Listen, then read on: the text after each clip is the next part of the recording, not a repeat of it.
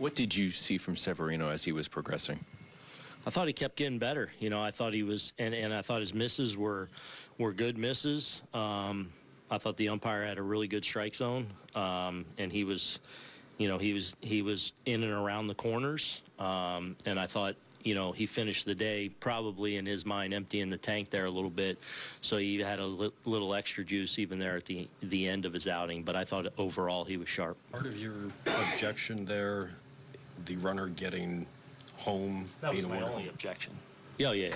That they should have been placed at third. It's the Correct. party's discretion, correct, on placing runners in situations like that. And you Correct. thought because the runner maybe slowed when they called foul ball, they Yeah. should not have been awarded home. Yeah, I, I clearly it was a fair ball, and we knew that. And then when they said he scored, y- you know, I took exception to that, and at least wanted to know the explanation for it, and and didn't really get that. Basically, just saying you can't argue this. And I said I want the explanation.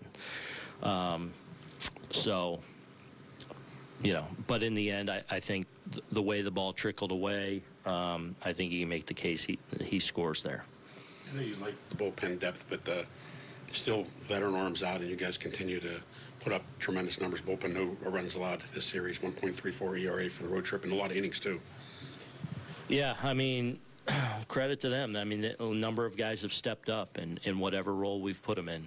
Um, you know, try and put them in positions where they can be successful, but ultimately it comes down to them going out there and executing. And there's been a few guys, you know, I think Ian being on the IL right now, but in, him in that mix of guys that have really taken advantage of opportunities with a couple guys down.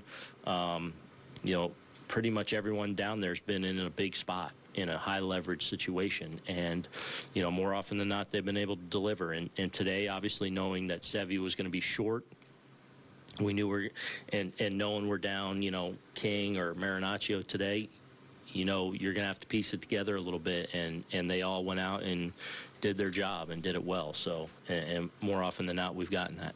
How would you sum up this trip overall? great trip. Um, you know, look, this is.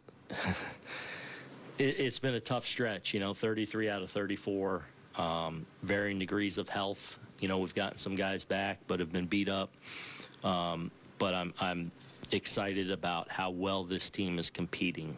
Um, their level of of again walk in with edge, prepare, and compete and they're doing that at a high level right now. And you know, we're going to continue to get hopefully healthier, and that'll continue to help us and, and make us stronger.